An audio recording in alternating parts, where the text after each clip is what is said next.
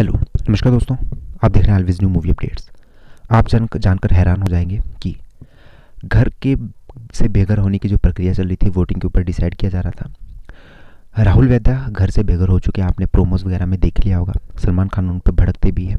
कि आप बहुत एरोगेंट तरीके से जिस तरह से आप कह रहे हैं, ऐसा है, वैसा है, मैं घर जाना चाहता हूँ। सलमान खान कहते हैं, अगर मैं अभी आपको कहूँ घर जाओ तो आप जाओगे?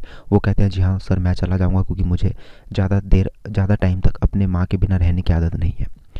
यहाँ पे हमें बड़ी न्यूज़ ये पता चली है कि राहुल वैद्या खुद क्विट करके गए हैं शो जी हाँ दोस्तों, राहुल वैद्या कहीं ना कहीं इमोशनल हो गए थे विगन के वॉर पे रो रो पड़े थे और और कहीं ना कहीं वो ऐसी बातें भी करने लगे थे जो कि कहीं ना कहीं उनको इस शो में रखना अब उसका मायने नहीं था।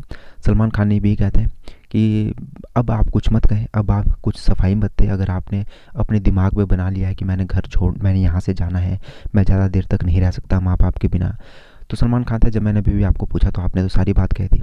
तो तो राहुल कहते हैं कि, सर, मैं इस बात पर जो है सफ़ाई दे सकता हूँ, बात कर सकता हूँ। तो सलमान खान कहते हैं, नहीं, अब हमें सफ़ाई नहीं चाहिए, क्योंकि अगर आप शो को रिस्पेक्ट नहीं देते, अगर आपको घर से बाहर जाना ही है, अगर आपको घर वालों से अपने मिलना ही है तो आप जाओ।